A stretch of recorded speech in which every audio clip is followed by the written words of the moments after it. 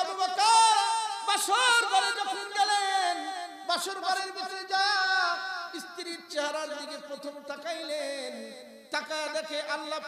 একটা নিয়ামত, নিয়ামতের দিকে তাকানোর পরে বারবার গলার দিকে তাকায় থাকে, বারবার গলার দিকে তাকায় থাকে কাজী আবু বকর। মেয়েটা ডাক দিয়া কয়, সব মানুষ না কইল লোকটা খুব আল্লাহওয়ালা তাকওয়াওয়ালা। এখন দেখি লোকটা আমার হাড়ের দিকে নজর, আমার গলার দিকে নজর। তাইলে বুঝি লোকটার মধ্যে লোক কাজ করতেছে। এই চিন্তা যখন স্ত্রী করতেছে, কাজী আবু বকর আল্লাহওয়ালা বুঝতে দেরি হয় নাই। ডাক দিয়া বলে, ওগো প্রাণীর স্ত্রী, আমারে বদগুমানি করো না, আমার সন্দেহ করো না। আমার কিন্তু তোমার গলার হারের প্রতি লোভ না السلام عليكم ورحمة الله تعالى وبركاته إن الحمد لله نحمده ونستعينه ونستغفره ونؤمن به ونتوكل عليه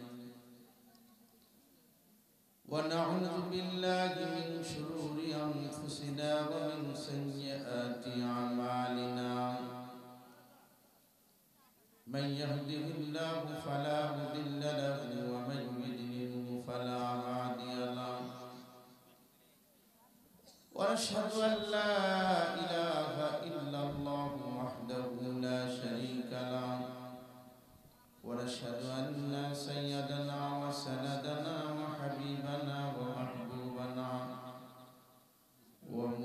ومرشدنا ومعصومنا ومخدومنا وأولانا. وأولانا ومولانا محمدا عبده ورسوله الذي أرسله بالحق بشيرا ونذيرا. وداعيا إلى الله بإذنه وسراجا وقمرا منيرا. أما بعد فأعوذ بالله من الشيطان الرجيم. بسم الله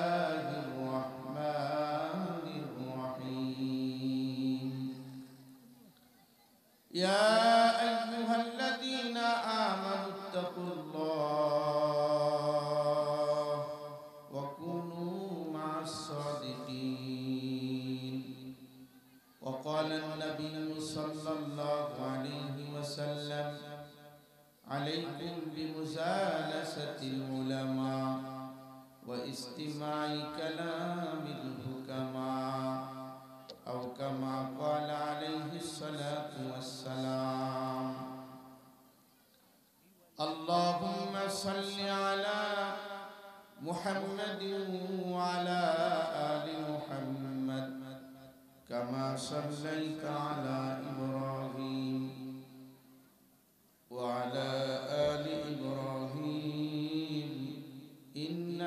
حميد مجيد.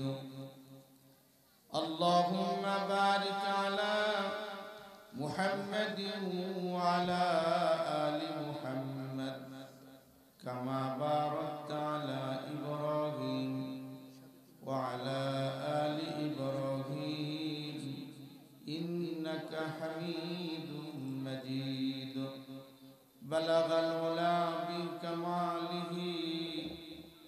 كشف الدجى بجماله حسنت جميع خصاله.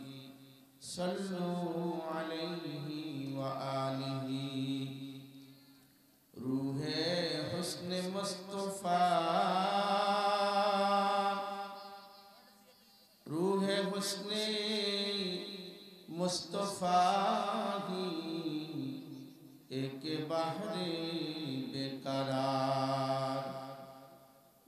ساحل تب کوئی شیری بیا پہنسا نہیں بلغل اولا الا ہی کشفت جا ہی حسنت جمیع ہی صلو علیہ وآلہ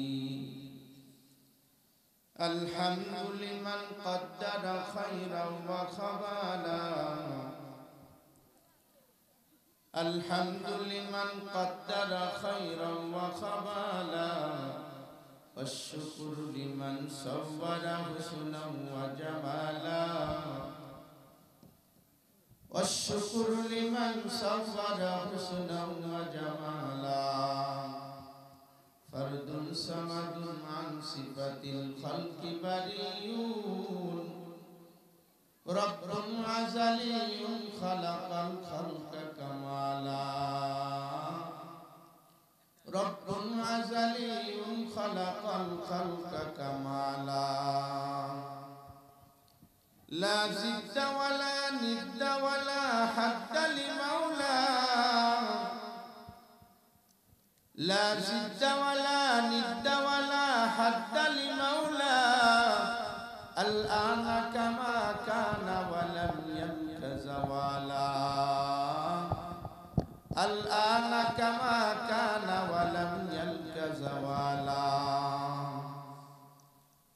تکبیر میں کلمہ میں نماز میں عزامی اے نام الہی سے ملا نام محمد،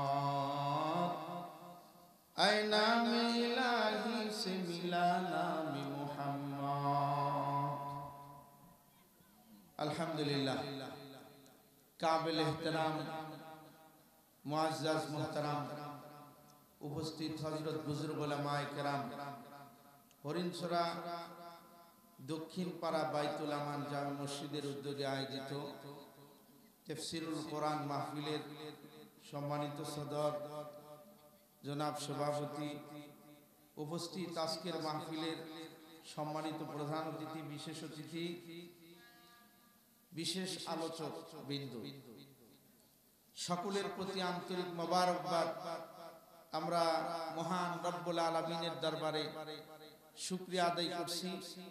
যেই রব, যে মনিব, যেই স্রষ্টা আমাদেরকে এই কন কনে শীতের ভিতরে আল্লাহ রব্বুল আলমিন তার প্রেমে উদ্বদ্ধ হয়ে, রসুলের আশেক হয়ে, দিনের কথা শোনার জন্য ঘর থেকে বের হয়ে মাহফিলের এই প্যান্ডেলের মধ্যে দীর্ঘ সময় পর্যন্ত বসে থাকার, আসার, বসার, কথা বলার তৌফিক যে মনিব, যে রব, যে স্রষ্টা আমাদেরকে দান করলেন, সে মালিকের দরবারে কালিমাতে শুকুর আদায় করি, মহাব্বতের সহিত সকলে পড়ি, আলহামদুলিল্লাহ। আরও জোরে বলেন, আলহামদুলিল্লাহ। আপনারা মাহফিলে আসতে পেরে বেজার না খুশি? অল্প না বেশি? মাশাআল্লাহ। দিনই মাজমা, দিনই মাহফিল আল্লাহ তালার কাছে সবচাইতে দাম। পৃথিবীতে অসংখ্য অগণিত মানুষ আল্লাহ তালা বানাইছে বিভিন্ন পর্যায়ে। বিভিন্ন তবকার মানুষ পৃথিবীতে আছে। অনেক পেশার, অনেক নেশার, অনেক মতের, অনেক পথের মানুষ। এর ভিতরে আল্লাহ পাক আমাকে আপনাকে নির্বাচিত করেছেন এবং আমাকে আপনাকে অনেকগুলো মাখলুকের ভিতর থেকে আল্লাহ তালা আশরাফুল মাখলুকাত মানুষ বানায় পৃথিবীতে পাঠাইছেন। এর চাইতে বড় নিয়ামত আর হতে পারে না। কথা কোন ঠিক কিনা? এজন্য দিল থেকে মহাব্বতের সহিত সকলে শুক্রিয়া আদায় করি বলি, আলহামদুলিল্লাহ। মানবতার মুক্তির দূত বিশ্বনবী সরওয়ারে কায়নাত নবী, পৃথিবীতে এসেছেন মানুষের দিলের উপরে মেহানতের জন্য, মানুষের দিল তৈরি করার জন্য মানুষের আখলাক সুন্দর করার জন্য আল্লাহর নবী দুনিয়াতে এসেছেন। আল্লাহর নবী বলেন, আনা বুইস্তু মুআল্লিমান আমি শিক্ষক হিসেবে পৃথিবীতে প্রেরিত হয়েছি। আল্লাহর নবী শিক্ষক হিসেবে এসেছেন এবং আমাদেরকে শিক্ষা দিয়েছেন। কি শিক্ষা দিয়েছেন? যে কীভাবে আমাদের চলতে হবে, কীভাবে বলতে হবে, কোরআন কীভাবে মানতে হবে, কোরআনের উপরে কীভাবে আমাদের চলতে হবে, সে বিধি বিধান আল্লাহর নবী আমাদেরকে শিখাইছেন, হাতে কলমে। সাহাবায়ে কেরাম শিখেছেন আখলাখ শিখেছেন। এজন্য পৃথিবীর মানুষ যখন আখলাক সুন্দর হবে, মানুষের অন্তর যখন সুন্দর হবে, মানুষের দিল যখন সুন্দর হবে, গোটা পৃথিবীর মানুষের দিল সুন্দর হয়ে গেলে তার সকল কিছু সুন্দর হবে, দিল অসুন্দর হয়ে গেলে তার কোনো কিছুই সুন্দর থাকে না, ঠিক কিনা বলে মূল হলো দিলের উপরে মেহানত। মানুষের চরিত্রের চরিত্র গঠনের জন্য বিশ্বনবী মোহাম্মদ রসুল্লাহ ইসলাম মক্কা এবং মদিনাতে মেহনত করেছেন। মানুষের কীভাবে দিল তৈরি হয়, কীভাবে খাঁটি মানুষ হয়, একটা হলো সুরাতে মানুষ আর একটা হলো সিরাতে মানুষ। একটা হলো আখলাকে ভালো মানুষ আর একটা হলো চেহারার মানুষ আর একটা হলো ভিতরেও তার মানুষ। ভিতরে অমানুষ নয় এজন্য শুধু চেহারার মানুষ আবু জাহেলও মানুষ। শুধু চেহারার মানুষ নমরুদ মানুষ। শুধু চেহারার মানুষ আবু লাহাব মানুষ। ফেরাউন মানুষ। কিন্তু তারা চেহারায় মানুষ ভিতরে মানুষ। ঠিক কিনা? ঠিক আসতে কন কে জোরে কন কথা কন ঠিক কিনা? আবু জাহেল চেহারায় মানুষ কিন্তু ভিতরে মানুষ। নমরুদ চেহারায় মানুষ ভিতরে অমানুষ আবু লাহাব চেহারায় মানুষ ভিতরে অমানুষ ফেরাউন চেহারায় মানুষ ভিতরে অমানুষ বেলাল হাবশি চেহারায় অমানুষ ভিতরে অমানুষ হযরত আবু বকর চেহারায় অমানুষ ভিতরে মানুষ, সূরাতেও মানুষ, সিরাতেও মানুষ, কথা কোন ঠিক কি না শুধু চূড়াতে মানুষ হলেই হবে, শুধু আকৃতি মানুষ হলেই হবে না, চেহারার মানুষ তো আবু জাহেলও ছিল, কিন্তু আবু জাহেল যখন সিংহাসনে বসেছে, মানুষের উপরে জুলুম করেছে। সে ছিল। একই সিংহাসনে যখন হযরত ইউসুফ আলাইহিস সালাম বসেছেন চেহারায় মানুষ মানুষ, তখন মানুষের উপরে রহম হয়েছে, ঠিক কিনা তাহলে বোঝা গেল চরিত্র গঠন আসল বিষয়। মানুষের চরিত্র গঠন এটা আসল বিষয়। আজকের আলোচনা, আমার আজকের আলোচনা হলো, আলোচ্য বিষয় হলো কীভাবে মানুষের চরিত্র গঠন হতে পারে। মানুষ কীভাবে চরিত্রবান হতে পারে? এখানে বসে কথা বলা যাবে একদম। এর চুপচাপ লড়াচড়া এদিক চা মা কিছু দেওয়া লাগবে না ভিতরেও মানুষ উপরেও মানুষ এ হলো আসল মানুষ। কথা কোন ঠিক কিনা? আসল মানুষ। কীভাবে গঠন হবে? এ বিষয়ে আল্লাহর নবী আমাদেরকে শিখিয়ে গেছে।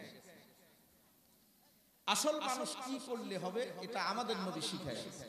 যেহেতু এটা একটা মাহফিল মসজিদ কেন্দ্রিক মাহফিল অনেক মুরব্বীরা এখানে আছেন আমি যে কথাগুলো বলব খুব ধৈর্য সহকারে যদি শোনেন তাহলে বুঝতে পারবেন প্রকৃত মানুষ হওয়ার জন্য কি কি গুণ অর্জন করা দরকার কি কি জিনিস আমাদের বর্জন করা দরকার। অর্জন করণীয় কি বর্জনীয় কি? এ বিষয়ের উপরে আলোচনা হবে। ইনশাআল্লাহ। আল্লাহ নবী বিশ্ব নবী।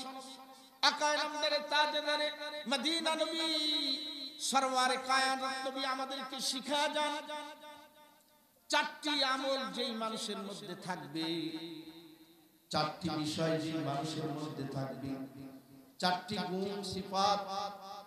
যেই মানুষের ভিতরে, যেই জাতির ভিতরে, যেই গোষ্ঠীর ভিতরে, যেই পরিবারের মধ্যে থাকবে, ওরা হালাক হবে না।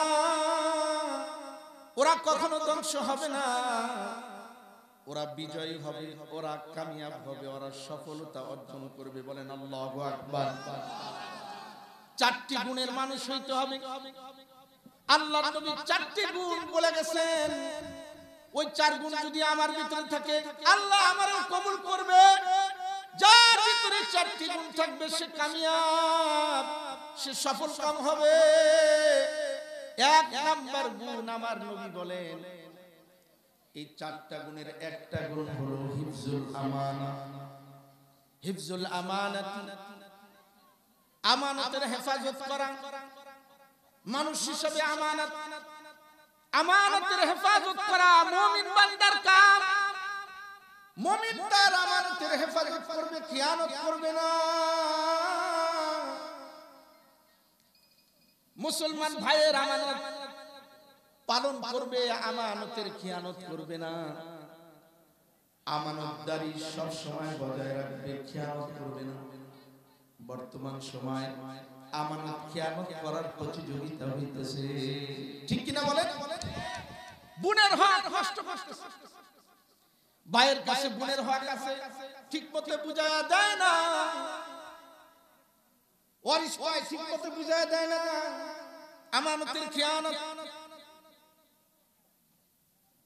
ভাই করে না। ভাই ভাইয়ের ঠিক মতো বুঝায় দেয় না বলে, এই যে বুঝায় দেয় না, এ হলো চেহারার মানুষ, ভিতরে অমানুষ। কথা কয় না কেন? আমার কথা কি বুঝতেছেন? যে বুঝায় দেয় না, সে চেহারার মানুষ, ভিতরে আবু জাহেল, কায়দা। খুব ভালো করে শুনবেন।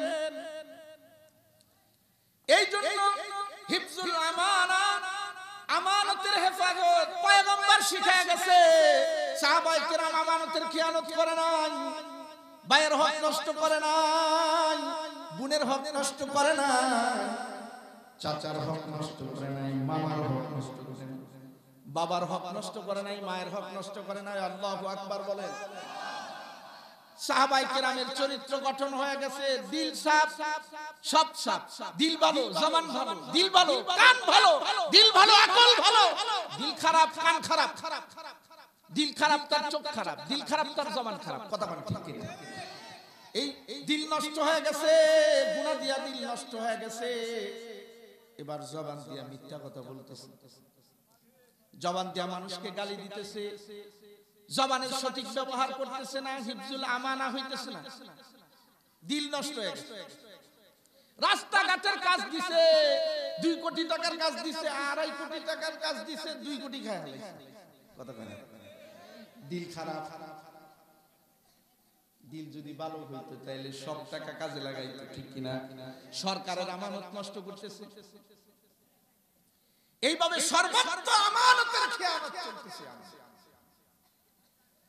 দিল যদি ভালো হয় হাতের লেখাও ভালো দিল যদি ভালো হয় তাহলে কলম দিয়া সুন্দর সুন্দর কথা লিখবে আজে বাজে লিখবে না জাফর ইকবালের মতো কথা কয় না?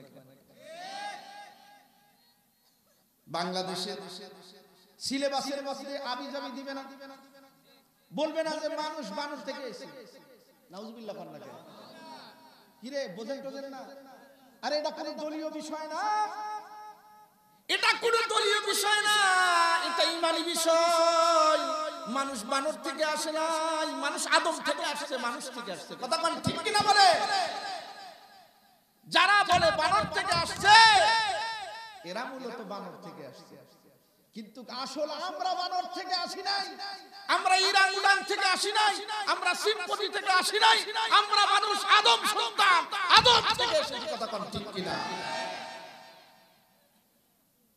দিল খারাপ এই জন্য লেখাও খারাপ। দিল খারাপ তার সব খারাপ। সে সব সময় হাবি জাবি গালি গালাজ করবে। অন্যায় ভাবে রিস্কাওয়ালার উপরে আঘাত করবে। গরিব দুঃখীর উপরে জুলুম করবে। দিল খারাপ, দিল ভালো হইলে গরিব মানুষের মাথার মধ্যে হাত বুলাবে ঠিক কি না রিস্কাওয়ালারে ভালো দিল ভালো এই জন্য আল্লাহ নবী বলেন, হিফজুল আমানাত। আমানতের হেফাজত করা। সাহাবাই কেরামদের অনেক দূরের কথা, কিছুদের আগেই যদি সামনে কদম বাড়াই, তাইলে দেখা যাবে তাদের আমানত কেমনে পালন করছে। এক ভাই জমিন বিক্রি করছে। জমিন বিক্রি করে দিছে, বাড়ি। আর এক মুসলমানে বাড়ি কিনছে। এক মুসলমান বাড়ি বিক্রি করছে আর এক মুসলমানে কিনছে। যে বিক্রি করছে, সে অন্যত্রে চলে গেছে। যিনি ক্রেতা, সে বাড়ি করবে নতুন করে। এই জন্য ওখানে মাটি খনন শুরু করছে। সন্তান নিয়ে মাটি খনন করতেছে। মাটি খুঁজতে গিয়া দেখে মাটির ভিতরে একটা স্বর্ণের কলস পাওয়া গেছে। কি পাওয়া গেছে বলেন বলেন। সবাই আমার সাথে কথা বলেন কিসের কলস? স্বর্ণের কলস মাটির নিচে পাওয়া গেছে। মাটি খুঁড়ে কলসটা উঠে দেখে পুরাটাই স্বর্ণ। কলসের মুখটা খুলছে। আল্লাহর বান্দা কলসের মুখটা খুলে দেখে, কলসের ভিতরে স্বর্ণ মুদ্রা দিয়া ভরা। দিল ভালো। ভালো আমানতের খেয়ানত করে না। আল্লাহ মানুষ কয়, এটা আমার না। এই জায়গা বিক্রি যিনি করছেন, হয়তো তার পূর্বপুরুষ মাটির ভিতরে পুঁতে রাখছে। এখন যেমন মানুষ টাকা হইলে ব্যাংকে জমা রাখে আগের জামানায় তো ব্যাংক ছিল না। তাইলে মাটির নিচে হয়তো এই স্বর্ণ মুদ্রাগুলো পুঁতে রাখছে। তাইলে এগুলো তার কাছে ফেরত দিয়া দেয় দৌড়ায় গেছে। জায়গা বিক্রেতার বাড়ির কাছে গিয়া বলে, ভাই, দরজা খুলে দাও। কয়, কি হয়েছে ভাই? কয় যে, এই যে তোমার জায়গার মধ্যে স্বর্ণের কলস পাওয়া গেছে। এটা ফেরত নিয়া আমার, আমারে হালকা করে দাও ভাই। স্বর্ণের কলসটা তুমি নিয়ে নাও।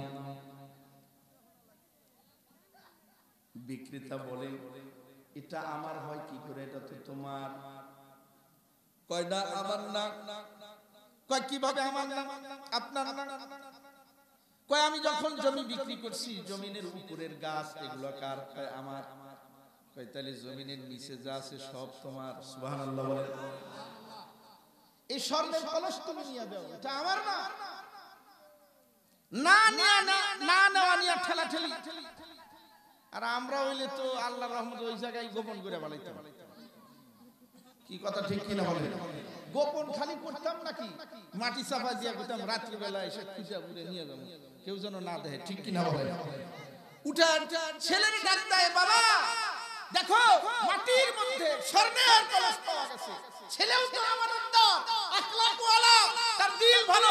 তাই বাবা, এটা আমাদের না তো এটা যার কাছে ফেরত দাও। তাই কার হবে?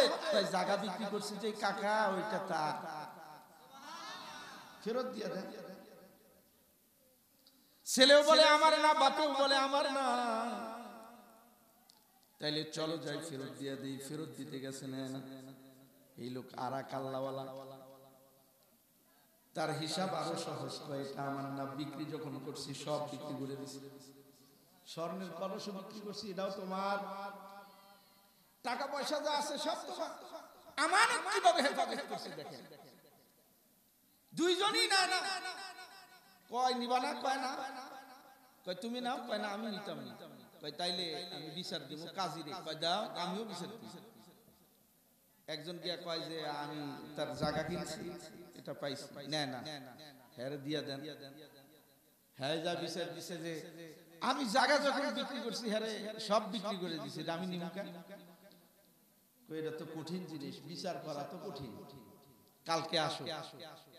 আমরা যদি বিচারক দিতাম যদি বলতাম যে পাইছি, এবার বলব, ইজা তার রাজা তাসা কথা। তোরা দুইজন ঝগড়া করছিস, তোরা আর মালের মালিক না, এটা আমি ঠিক কিনা কিনা?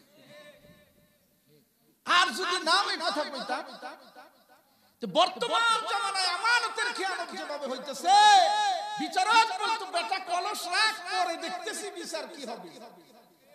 পরে, কিছুক্ষণ পরে, আধা ঘণ্টা পরেও যদি কলসওয়ালা এসে বলতো যে কলসের বিচার করেন, বলতো, বেটা, এখানে রাখছিলাম, এত খুঁজেই পেতেছি না। ঠিক কিনা বলেন?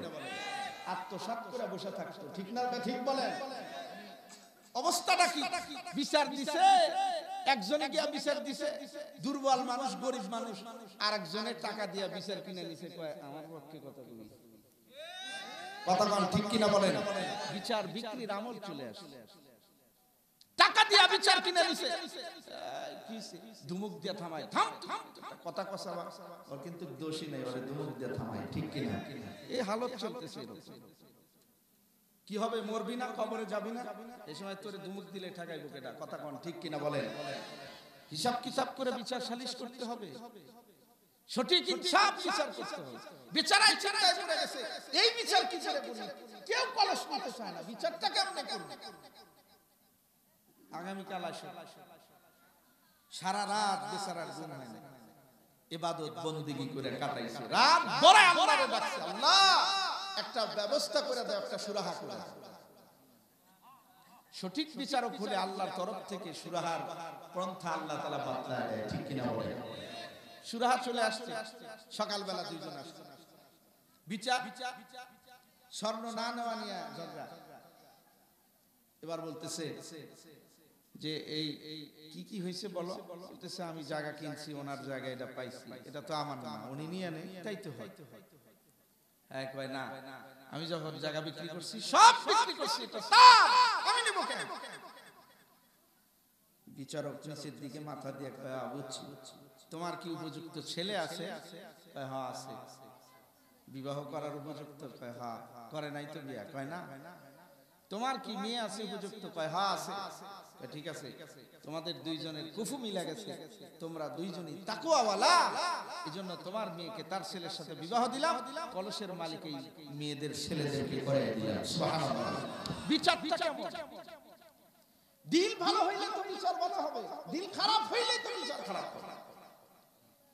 হিফজুল আমানা হায় রে কেমন আমানতের হেফাজত করছে?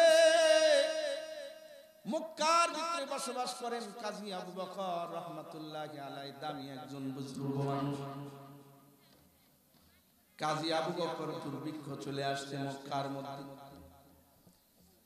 এমন দুর্ভিক্ষ, পেটের ভিতরে খাবার নাই।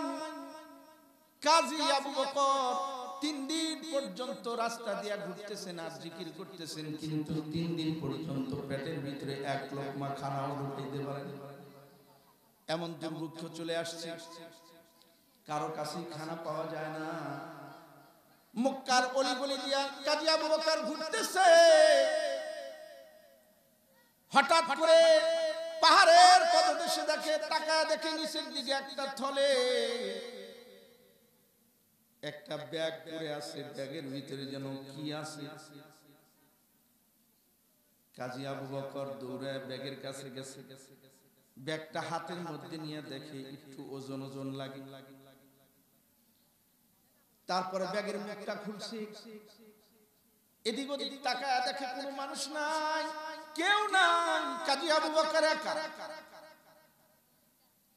ব্যাগের মুখটা খুলে কাজী আবু বকর তাকায়, দেখে একটা স্বর্ণের রূপা দিয়া, স্বর্ণ দিয়া মণি মুক্তা দিয়া, গাথা একটা চেন একটা হার।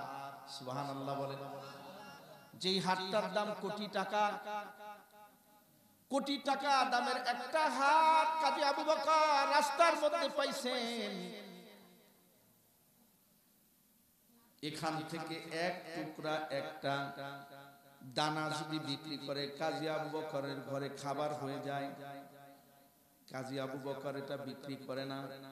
এটার দিকে তাকায় তাকায় থাকে, দেখে যে কিছু আছে স্বর্ণ, কিছু আছে মুক্তা, কিছু আছে জহরত, স্বর্ণ মুদ্রা। দামি দামি পাথর দিয়া বানানো একটা কোটি টাকার হার। কাজী আবু বকর ক্ষুধার যন্ত্রণায় তিন দিন ঘুরতেছে, একটা দানাও বেছে না। বেচলেই তার টাকা হবে, ক্ষুধা নিবৃত হবে। কাজী আবু বকর চিন্তা করলেন, এটা আমানত অন্যের। এটা আমার না, রাস্তায় পাইছি। হয়তো দেখা যাক, বাজারের ওই কিনারায় কেউ জিনিস হারায়া খুঁজতেছে কিনা। কাজী আবু বকর এটাকে নিয়ে রওনা করছে। তার কাছে আমানত ফেরত দিয়া দিবি। হায় রে কেমন মানুষ।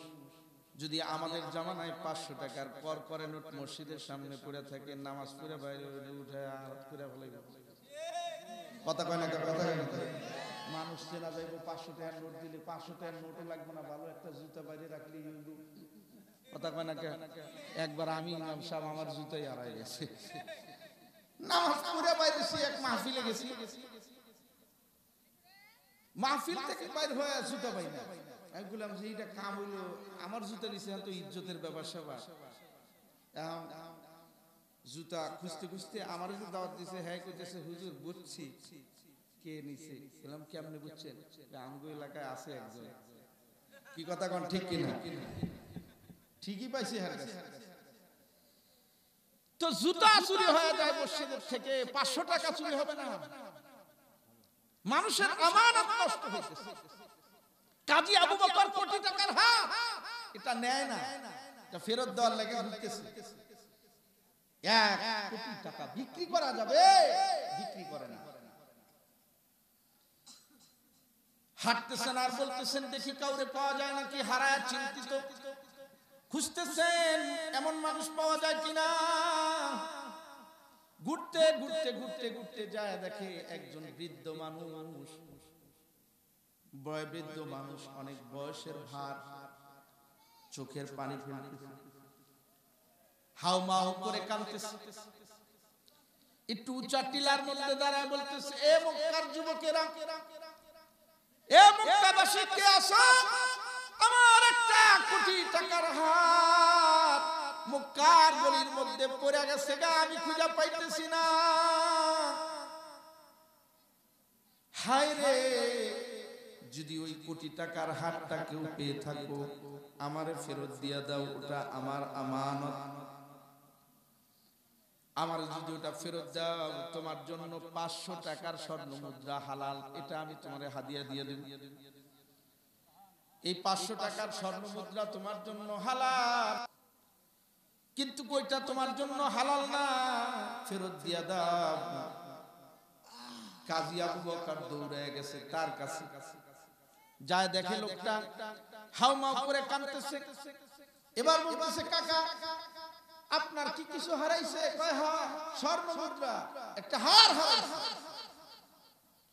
বলতেছে তাইলে যদি আপনি বলতে পারেন কয়টা মুক্তা, কি কি কি আছে এই হারের মধ্যে, তাইলে আপনারে ফেরত দেওয়া হবে আপনার জিনিস মনে করা হবে এবার বুড়া কইতেছে, এই কয়েকটা স্বর্ণ, এই কয়েকটা রূপা, এই কয়েকটা পাথরের, দামি দামি পাথরের নাম মিলায় দেখে ঠিক আছে, এই যে আপনার জিনিস নেন আমি আর আপনি কি দিতাম নাকি? আরে, এটা তো দূরের কথা। বিশ হাজার টাকা আওলাদ নিছে, দেওয়ার খবর না। ফোন দিলে কয়, আমি বাড়িতে নেই, বহুত দূরে আছি। কি কথা ঠিক না? হ্যাঁ আমানত দিব কোন সময়? ওই আমানত খাইতে পারলে ভালো। এখন পুরা বলে স্বর্ণ মুদ্রা হাতের হাতে নিয়ে মুরব্বী একবার স্বর্ণের দিকে তাকায় হারের দিকে তাকায়, আর একবার কাজী আবু বকরের চেহারার মধ্যে তাকায়। দেখে স্বর্ণের চেয়ে সুন্দর তার চেহারা, সুবহানাল্লাহ। চেহারার ভিতরে একটা নূর, একটা আলো। এই আলোকিত চেহারার দিকে পুরা তাকায় রয়েছে।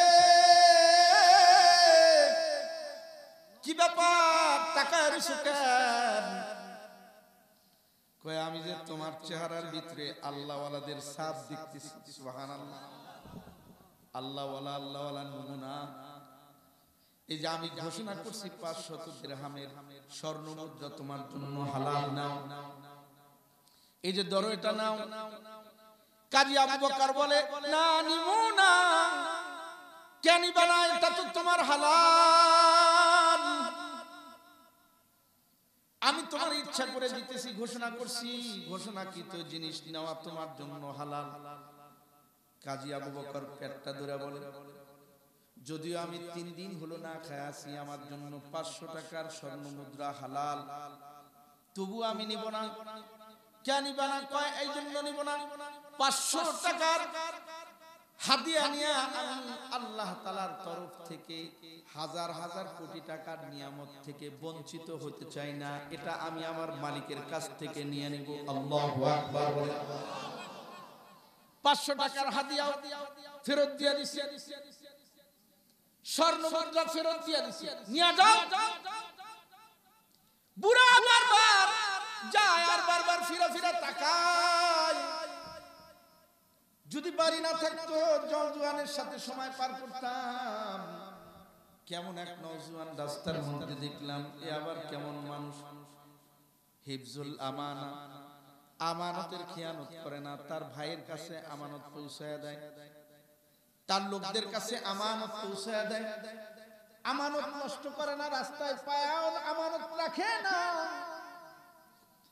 কেমন আল্লাহওয়ালা যুবক পাঁচশো টাকা দিতেছিলাম তাও নেয় না। আবার বলে তিন দিন পর্যন্ত না খায় আছে কেমন যুবক এটা?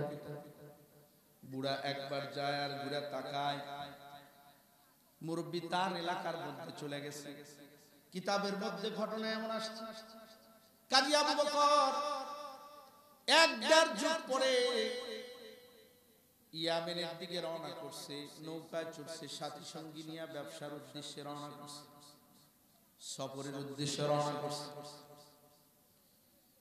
নৌকা যখন নদীর মাঝখানে গেছে প্রচণ্ড তুফান প্রচণ্ড তুফানে সব লন্ডভন্ড হয়ে গেছে, সব সাথী পানির মধ্যে তলায় গেছে। কাজী আবু বকর ওই পানির মধ্যে তলায় গেছে। কাজী আবু বকর এবার পানির ভিতরে ডুবে রয়েছে। আল্লাহ তাআলা পানিরে হুকুম করে পানি, আমার আবু বকরকে কিছু করবি না। আমানতদার, আল্লাহু আকবার বলেন। ও আমানতদার, ঢেউরে আদেশ করে, ঢেউ একটা প্রচণ্ড আঘাত করে, ঢেউ তুমি তারে সুন্দর করে, উঁচু করে তারে নিয়া ইয়ামেনের দ্বীপের মধ্যে ফালাও। আল্লাহু আকবার। সে যেন কষ্ট না পায়। ঢেউ এসে তারে উড়ায় আনিয়া ইয়ামেনের এক দ্বীপের মধ্যে ফালায় দিছে। গায়ের মধ্যে ভেজা জামা কাপড় নিয়া কাজী আবু বকর খাড়ায়, এদিক ওদিক তাকাইতেছে, এটা আবার কোন জায়গা? কোথায় আসলাম? পরিচিত পরিচিত মনে হয় না, অপরিচিত এলাকা। দূরের দিকে তাকায় দেখছে একটা মসজিদের মিনার, তাকায় দেখে। ওই দূরে একটা মসজিদ দেখা যায়, এটা তাইলে মুসলমানদের বস্তি মুসলমানদের এলাকা। কাজী আবু বকর দৌড়ায় মসজিদের মধ্যে গেছে। ভেজা ধাপা কাপড় নিয়ে উজু করে নামাজে দাঁড়াইছে। এই যে তুফান থেকে বাচ্চা শুক্রিয়া তান, দুই রাকাত নামাজ আদায় করছে। সুবহানাল্লাহ কবেন না। বিপদে পড়ে গেলে আরও আমরা বিচলিত হয়ে যাই। হায় হায়, শেষ হয়ে গেলাম মহিলারা আরও বেশি হয়। কামাই রুজি করতে পারো না। তোমার উপর খেলতেছি আমি। কথা কন্যাকা ঠিক কিনা? অথচ বিপদের সময় সবর করো তাইলে আল্লাহ তাআলা বড় নিয়ামত দিতে পারে। ঠিক কিনা বলেন? কাজী আবু বকর এবার নামাজ পড়ছে শুকরিয়ার নামাজ। দুই রাকাত নামাজ পড়ে আল্লাহর কালাম হাতে নিছেন। মসজিদের ভিতর থেকে আল্লাহর কোরআন হাতে নিয়ে তেলাওয়াত করতেছে। চোখ থেকে দর দর করে পানি পড়তেছে কাজী আবু বকর। কান্নারত অবস্থায় তেলাওয়াত জোরে জোরে করতেছে। এলাকার মানুষজন আশেপাশে সব তেলাওয়াতের আওয়াজ শুনে দৌড়ায় চলে আসছে। কে রে আমাদের মসজিদে তেলাওয়াত দৌড়ে আসে দেখে এক নজওয়ান আল্লাহর কালাম হাতে নিয়া আল্লাহর কালামের তেলাওয়াত জোরে জোরে করতেছে। সবাই এসে পিছ দিয়া বসে গেছে। তার তেলাওয়াত শুনছি। শোনার পরে তেলাওয়াত সেনা শেষ হওয়ার পর ডাক দেয়া বলে, কে তুমি? কোথায় তোমার বাড়ি? কোথায় তোমার ঘর? কোথার থেকে তুমি আসলে? এখান তুমি কে বলে? ডাক আমার নাম কাজী মক্কায় আমার বাড়ি। মক্কার থেকে আমি ইয়ামেনের এই দ্বীপে কেমনে এলাম আমি জানি না। তবে আমার মনে আছে, নদীর মধ্যে তুফান ছুটছে। আমার একজন সাথীও বেঁচে নাই। সব সাথী পানির ভিতরে তলায় গেছে। কে যেন আওয়াজ দিয়ে আমার নামটা বলল, আমার এই তুফান নিয়ে তুফানের ভিতরে নিয়ে এসে ইয়ামেনের এই দ্বীপের মধ্যে ফালায় দিছে। এবার আমারে তোমরা মক্কার রাস্তা দেখায় দাও। আমি মক্কায় যাব, আমার এলাকায় চলে যাব, আমার রাস্তা দেখায় দাও তোমরা। মসজিদের মুসল্লিগুলা হাউমাউ করে কান্দে আর বলে না না তুমি আসো নাই আল্লাহ তোমার এখানে পাঠাইছে। আল্লাহু আকবার বলে। আরে আমাদের এই মসজিদের ভিতরে একজন ইমাম। দামি এক ইমাম ছিল মারা গেছে। তার কাছে আমরা নামাজ পড়তাম। নামাজ পড়ানোর আর কেউ নাই। ইমামতি করবে এমন কেউ নাই। আমাদের কোরআন শিখাইবে আমাদের দোয়া দরুদ শিখাইবে এমন মানুষ নাই। তোমার তেলাওয়াত বড় মধুর। সুন্দর তেলাওয়াত তুমি করো। ও, তুমি কাজী আবু বকর, তুমি যদি চাও, আমরা তোমাকে এখানে রেখে দেব। আমাদের ইমাম হবা, আমাদের কোরআন শিখাইবা, আমাদের নামাজ শিখাইবা। তুমি যদি চাও, আমরা তোমাকে সুন্দর ঘর বানায় দিব। এখানে তুমি দিনই তালিম, তরবিয়তের কাজের মধ্যে থাকবা। আল্লাহু আকবার! আল্লাহ তাআলা উত্তম ব্যবস্থা করে দিবেন কাজী আবু বকর দিন শিখানোর তাকিদে থেকে গেলেন। সেখানে থেকে মানুষদেরকে তালিম শুরু করলেন। মানুষের ইমাম হয়ে গেলেন। ইয়ামেনের ওই দ্বীপে সে ইমামতি করতেছেন। নওজোয়ান বিবাহ শাদী করে নাই। লোকজন একজন ডাক দিয়া কয় কাজী আবু বকর, আপনি আমাদের ইমাম। আপনি যেহেতু বিবাহ শাদী করেন নাই, আপনি যদি চান তাইলে আমাদের এলাকার ভিতরে সবচাইতে টপ লেভেলের সুন্দরী এক নারী আছে, যে খুবই দিনদার। জীবনেও তার চেহারা দেখি নাই। মহিলারা বলে তার চেহারা নাকি সবচাইতে সুন্দরী। এমন মানুষ আবার দিনদার আল্লাহওয়ালা। তোমার মতো একজন দিনদার মানুষের সাথে তার বিবাহ করায় দিতে চাই তুমি কি রাজি আছো? কাজী আবু বকর বলে ঠিক আছে যদি দিনদার হয় আখলা কলা হয়, সুন্দর হয়, তাইলে আমার কোনো আপত্তি নাই। কাজী আবু বকরের সাথে ওই মেয়েটার বিবাহ হইল। যেই মেয়েটার বাবা ইমাম ছিল, মারা গেছে কয়েকদিন আগে। এবার তাকে বিবাহ করল কাজী আবু বকর। বাসর ঘরে যখন গেলেন, বাসর ঘরের ভিতরে যা স্ত্রীর চেহারার দিকে প্রথম তাকাইলেন তাকায় দেখে আল্লাহ পাকের একটা নিয়ামত। নিয়ামতের দিকে তাকানোর পরে বারবার গলার দিকে তাকায় থাকে। বারবার গলার দিকে তাকায় থাকে কাজী আবু বকর। মেয়েটা ডাক দিয়া কয়, সব মানুষ না কইল লোকটা খুব আল্লাহওয়ালা তাকুয়াওয়ালা এখন দেখি লোকটা আমার হাড়ের দিকে নজর, আমার গলার দিকে নজর। তাইলে বুঝি লোকটার মধ্যে লোক কাজ করতেছে। এই চিন্তা যখন স্ত্রী করতেছে কাজী আবু বকর আল্লাহওয়ালা বুঝতে দেরি হয় নাই।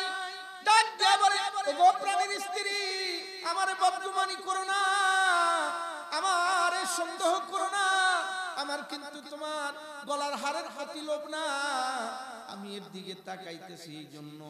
আমার কাছে মনে হইতেছি, এমন একটা হার আমি আবু বকর কাজী মক্কার গলির মধ্যে তিন দিন অনাহারে থেকে এমন একটা হার আমি মক্কার গলির মধ্যে পাইছিলাম। আমার কাছে তো মনে হয় এই হাতটাই সেই হাত যা আমি আমার স্ত্রীর গলার মধ্যে দেখতেছি। স্ত্রী বলে, বসা থেকে দাঁড়ায় গেছেন স্ত্রী দাঁড়ায় বলেন, তাইলে কি তুমি সেই কাজী আবু বকর? মক্কার সেই কাজী আবু বকরটা কি তুমি? কয়, হ, আমি সেই কাজী আবু বকর। তুমি আমার নাম জানলে কীভাবে? কয়, আমার বাবা কত কান্না করল। জীবনে আর একবার তোমার মতো যুবকের চেহারা দেখার জন্য কত চেষ্টা করছে। আমার কাছে শেষ পর্যন্ত এই হারটা আমারে হাদিয়া দিয়ে গেছে। আর বলছে, হায় রে, আমি এমন এক হতবাগা, ওই কাজী আবু বকর আর জীবনে পাইলাম না। এরে মা হাতটা রাখ। জীবনে যদি আমার এই কন্যাটাকে কাজী আবু বকরের মতো নজওয়ানের কাছে তুলে দিতে পারতাম কাজী আবু বকর যদি আমার মেয়ের জামাতা হইতো, তাইলে কত কিসমত ভালো হইতো। এমন যুবক নওজোয়ান আর কোথায় আমি খুঁজে পাই না এই কথা বলে বলে আমার বাবা দোয়া করছে। আর আল্লাহ আমার বাবার দোয়া কবুল করছেন। আপনার মতো কাজী আবু বকর তাকওয়াওয়ালাকে আমার ঘরে পাঠায় আমার স্বামী বানায় দিছে। আল্লাহু আকবার। বলুন হায় রে, কেমন দোয়া। কি এমন সুন্দর দোয়া করছে কাজী আবু বকরের শ্বশুর। এবার বলতেছে, এই যে হাত, মুক্কার ভিতরে তুমি পাইছিলা, দেখো সেই হাতটা ঠিক আছে কিনা? কাজী আবু বকর বনে আর কয় ক্ষুধার যন্ত্রণায় পাইছিলাম এই হার। বিক্রি করি নাই, ফেরত দিছি। আল্লাহ তালা এর থেকে বড় নিয়ামত তোমারে আমার স্ত্রী বানায় দিছি। দুনিয়া তো দিছেই দিছে এবার কাজী আবু বকরের স্ত্রী ডাক কয় ওগো স্বামী, আমার ইন্তেকালের পর, সে তো শেষ হয়ে গেছে, মালের মালিক এখন আমি। কিন্তু ইন্তেকালের আগে ওসিয়ত করে গেছে। কাজী আবু বকরের মতো মানুষ যদি আমি পাই, তারে হাদিয়া দিতে বলছি। এই যে হার এখন এটা আপনার। আপনি ইচ্ছা করলে এটা দান করতে পারেন, যা খুশি তাই করতে পারেন, এটার মালিক এখন আপনি আল্লাহু আকবার বলেন হিফজুল আমানা, আমানতের হেফাজত কেমনে করছে তারা? রাস্তায় পায়াও বিক্রি করে নাই। আরে মিয়া আমরা তো আমানতের খেয়ানত ঘরে ঘরে ঘরে ঘরে আমানতের খেয়ানত। গুণের হক নষ্ট করতেছি। দেই না, জমি পায় দেই না। আরও বাচ্চা আসলে খেদায় দেওয়ার পাইতারা করি কথা কোন ঠিক কি বারে কারণে বাচ্চা আসবে না। দিতে পারছ না, বাইরে দিয়া যা। লিখে দিয়া। কি কোন, কথা ঠিক না বে ঠিক খালি লেখা নিতে চায়। খালি লেখা নিতে চায়। তুমি যদি এইভাবে লেখে নাও, তোমার বইয়েরটাও হের বাইরে লেখে নিলে কথা কয় না ঠিক না বা ঠিক লাভ হইল কি? একই তো তুমি যদি দাও তুমিও পাইবা। ঠিক না বা ঠিক? হিফজুল আমানা। এক নাম্বার আল্লাহর নবী আমানতের হেফাজত করতে বলছে। দুই নাম্বার আসিদকু হাদিসি। অসিদকু হাদিসি। আল্লাহর নবী বলেন সদা সর্বদা সত্য কথা বলবা। মিথ্যা বলবা না আল কিসবু ইহলি আসিদকু ইয়ানজি ওয়াল কিসবু ইহলি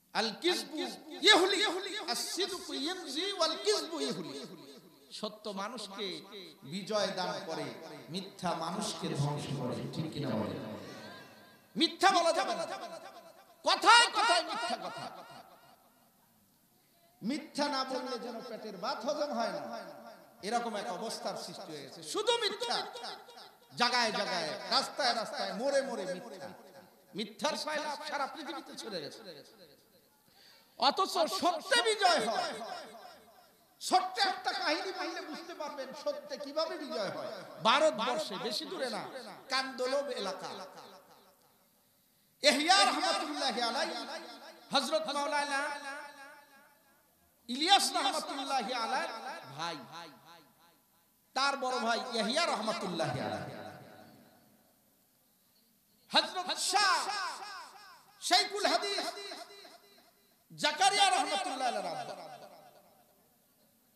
ওনার এক ঘটনা কিতাবের মধ্যে যে উনি মানুষ এলাকার মানুষ চলতেছে কিছু লোক এসে তার ধরে কয়, আপনার সাক্ষী বানাইছি কিসের সাক্ষী? বলে, জানেন না, ওই যে একটা জমি নিয়ে আমাদের ঝগড়া চলতেছে দীর্ঘ দীর্ঘ কিসের জমি বলে ওই যে মসজিদ করব। শুনতেছেন আপনারা? মসজিদ করব এই জায়গাটা হিন্দুরা দাবি করে তারা মন্দির বানাবে এটা নাকি তাদের? তো যখন মুসলমান ক্ষমতায় আসে তখন হিন্দুদের সাইনবোর্ড বাঙ্গা ফালাই দেয়া কয় আবার আইলে থাপড়া মতো কি কথা ঠিক না? দিমুক দিত আবার আইলে। আবার যখন হিন্দুরা ক্ষমতায় আসে মুসলমানদের সাইনবোর্ড বাঙ্গা কয় আবার আইলে তব দিন আছে না নাই? আমি আইলে বিএনপির সাইনবোর্ড বাদ বিএনপি আইলে আমি সাইনবোর্ড বাদ। কথা কোন ঠিক আছে এই মনে করেন সাইনবোর্ড রাখবে না। এখন হয়েছে কি? কয়, এবার জজ সাহেবের কাছে আমরা দুইজন ভাই গ্রুপ আমরা মানছি। জজ সাহেব বলছে, প্রবীণ ব্যক্তি মুরব্বী যদি সাক্ষী দেয়, যেই পক্ষে সাক্ষী দিবে, তাদেরকে জমি দেওয়া হবে। যদি মুসলমানের পক্ষে দেয়, মুসলমানরা পাবে। হিন্দুদের পক্ষে দিলে হিন্দুরা পাবে। মুসলমানরা যদি পায়, মসজিদ বানাবে, হিন্দুরা পাইলে মন্দির বানাবে। তা আপনারা বানাইছি সাক্ষী, আপনি মুরব্বী মানুষ, আপনার চেয়ে বেশি বয়স্ক লোক এলাকার ভিতরে নাই।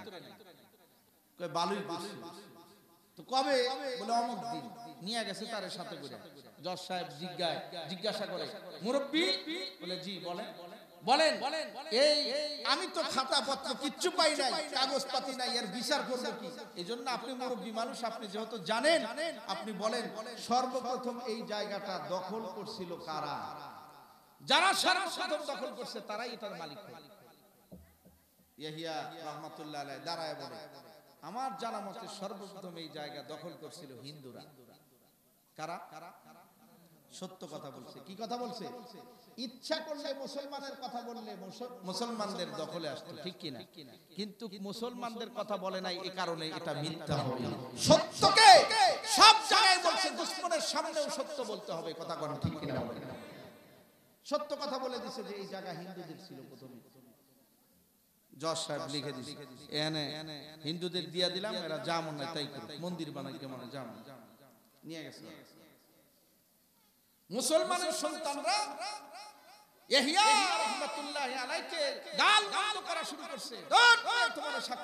তুমি আমাদের পক্ষে না। চাচারে নিয়ে গেলাম, কথা চাচা যদি সত্য কথা বলে, তোমার উচিত, ঠিক কিনা বলে? চাচারে ঘরের ভিতরে আলাই আর ঘরের দরজা খুলে না। দরজা বন্ধ করে দিয়ে আল্লাহ তালার কাছে কান্দেন, বলেন, আল্লাহ, তুমি তো জানো আমি ইহইয়া মিথ্যা কথা বলতে পারি না। মিথ্যা বলি নাই, সত্যই বলে দিছি। আল্লাহ, তুমি সত্যের বিজয় দান করো সব সময়। এজন্য আমি সত্য বলেছি, মিথ্যা বলি নাই। দোয়া করতেছেন। রাত তখন একটা, দুইটা হবে এরকম সময়। কিছু লোক দরজার সামনে এসে ডাক দিতেছে, এহিয়া, আপনার দরজা খোলেন। এহিয়া চিন্তা করল যে, আবার কারা আসলো? নাকি মুসলমানের পক্ষে? বলি না এই জন্য মুসলমান সন্তানরা আসছে আমার ক্ষতি করার জন্য। জানালা দিয়া উকি মারিয়া দেখে মুসলমানের সন্তানরা, সব হিন্দুদের সন্তানরা আসছে। হিন্দুরা চলে আসছে। দরজা খুলে দিয়া বলে, তোমাদের পক্ষেই তো বললাম, তোমরা আবার কেন আসছো রাতের বেলায়? এত রাত্রে আমার বাড়িতে।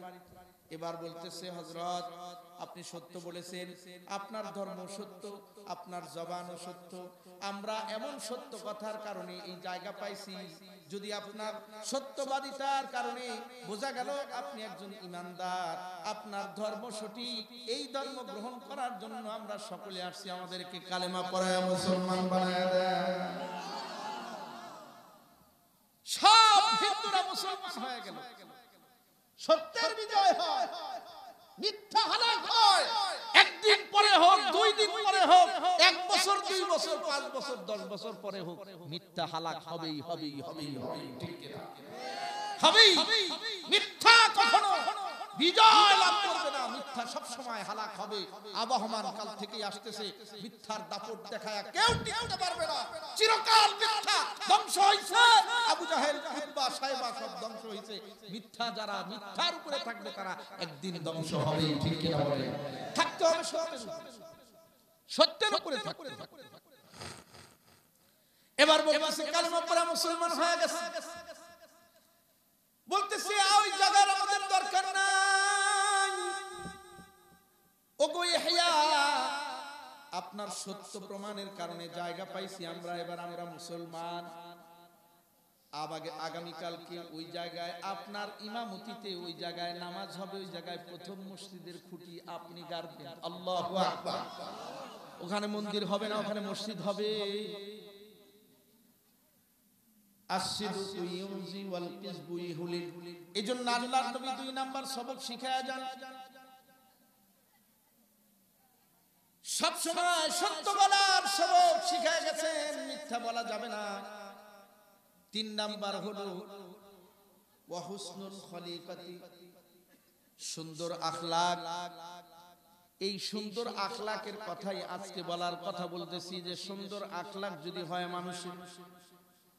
মানুষের আখলাখ যদি ভালো হয়ে যায়, মানুষের চরিত্র যদি সুন্দর হয়, মানুষের চরিত্র যদি ভালো হয়ে যায়, এই মানুষটা আল্লাহওয়ালা হবে, এই মানুষটার জবান দিয়া মিথ্যা বলবে না।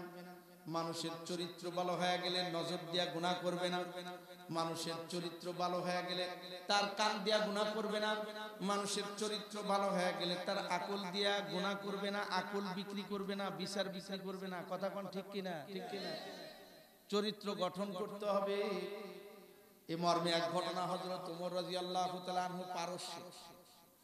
এক নওজোয়ান ধরে নিয়ে আসছে নও- নওজোয়ানকে। হযরত ওমর পারস্যের বাদশার ছেলেকে ধরে নিয়ে আসছে। পারস্য দখল করছে মুসলমানরা। হযরত ওমর নওজোয়ানকে ডাক দিয়ে ওই কালেমা পড়। যুবক কয় না পড়তাম না কয় কয় কালেমা পড়বি না তোর তো ওই যে তরবারি দেখছ। হযরত ওমরের কি রকম রাগ জানেনি? এই কালেমা পড়। তরবারি খুলছে। কয় পড়তাম না। কইলাম না পড়তাম হযরত ওমর চিন্তা করতেছেন এরকম লোক তো আমি জীবনে জীবনে এবার বলতেছে ঠিক আছে। তাইলে যদি কালেমা না পড়ো দাওয়াত ইসলাম তোমাকে দেওয়া হয়েছে। তুমি যদি গ্রহণ না করো, যদি তুমি অন্য ধর্ম অবলম্বী হয়ে চলতে চাও, তাহলে মুসলমানদেরকে কর দিতে হবে। কর দিয়ে তুমি থাকবে। তাহলে তোমাকে হত্যা করা হবে না। নজওয়ান কয় যে, কর দিতাম চেনেন আমারে আপনি? হযরত ওমরকে বলতেছে চেনেন আমারে আপনি? আমি কর দিতাম। আল্লাহু আকবার বলবেন না। নজওয়ানের সাহসটা? তরবারিতে একটা কোপ দিলেই শেষ। কিন্তু তার বলতেছে, জানো আমি কে? আমি বাদশার ঘরে আমি একজন বাদশার ছেলে। সারা জীবন কর নিছি, কর দেই না। আমি দিব না।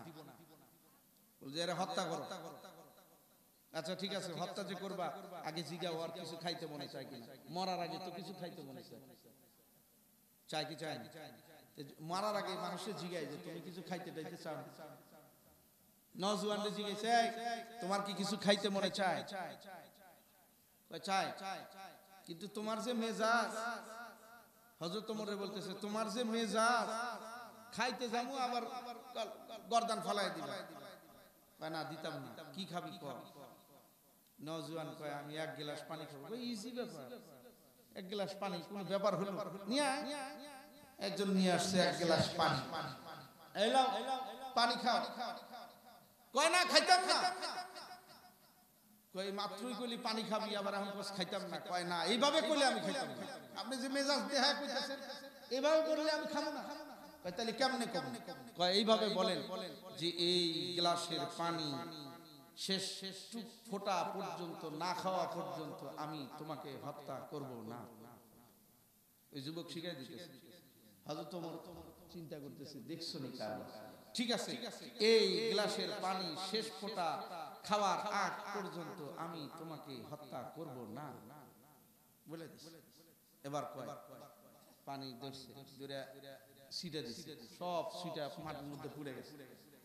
আপনি না কইছেন এই পানি না খাওয়া পর্যন্ত আমার হত্যা করবেন না এখন পানি তো নেই আমার হত্যা করবেন কেমন? আল্লাহু আকবার বলে। হযরত ওমর তো ফাইসে গেছে। কই? ঠিকই তো কইছে পানি তো নাই। আমি তো কইছি, এই পানি না খাওয়া পর্যন্ত হত্যা করব না। মুসলমান তো সত্য কথা বলে, সুবহানাল্লাহ। ঠিক আছে, যাও, তোমাকে ছেড়ে দিলাম। আমি আমার কথায় তোমাকে ছেড়ে দিলাম, যাও। বাহিরে গেছে। বাহিরে গিয়া কিছুক্ষণ পর আবার ওমরের দরবারে আসছে। আশা বলে, আশহাদু আল্লা ইলাহা ইল্লাল্লাহ। ওয়া আশহাদু আন্না মুহাম্মাদার রাসূলুল্লাহ সাল্লাল্লাহু আলাইহি ওয়াসাল্লাম। কালেমা পড়ে দিছে ইসলাম কবুল করছে হযরত ওমর ভাই? তোর বাড়ি দেখাইলাম, ইসলাম কবুল করলা না। ফাঁসির মঞ্চে নিয়ে যাইতে চাইলাম, ইসলাম কবুল করলা না। হত্যা করার ভয় দেখাইলাম, ইসলাম কবুল করলা না। কি এমন দেখলা রে ভাই। আবার মুসলমান হয়ে গেল, ইসলাম কবুল করলা। কয়, আমি পানি খাওয়ার আগ পর্যন্ত, পানি ছিটানোর আগ পর্যন্ত তোমার চেহারায় এক রকমের আখলাখ দেখলাম। কিন্তু পানিটা যখন মাটির মধ্যে ছড়াই দিলাম, ওমরের চেহারার দিকে তাকায় দেখি ওমর একজন পাক্কা ইমানওয়ালা যার রাগ মুহূর্তের মধ্যে মাটি হয়ে গেল। আমি তোমার আখলাকের দিকে তাকাছিলাম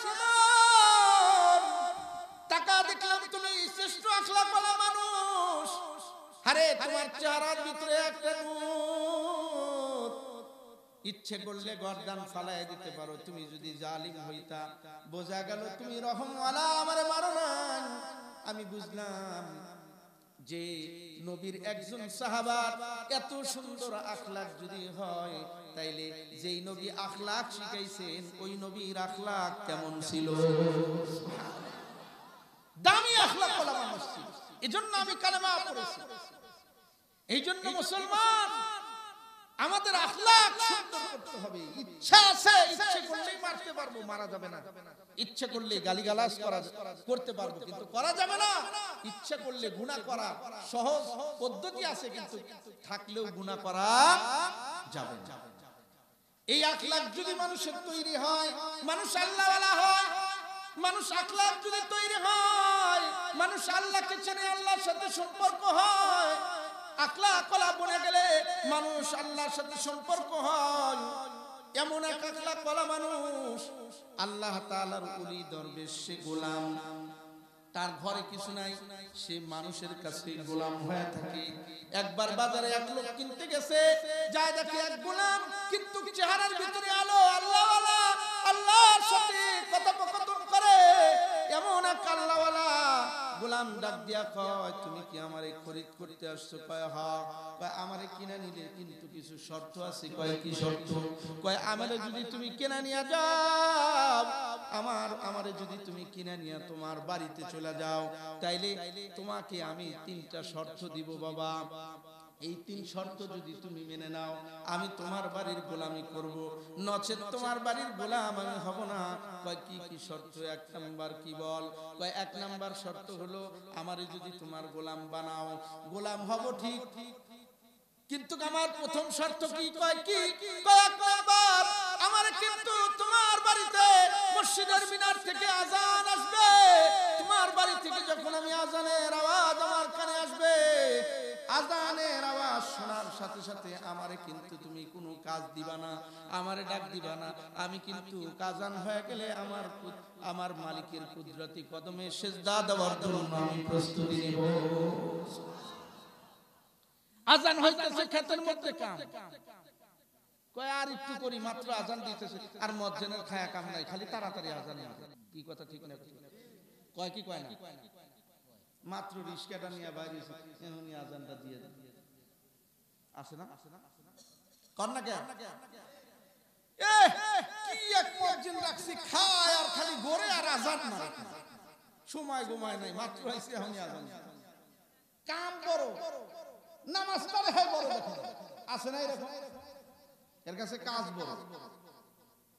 এক শ্রেণির মানুষ আছে হেউ যদি নামাজের কথা কওয়া হয় ভাই, চলো নামাজ পড়ি।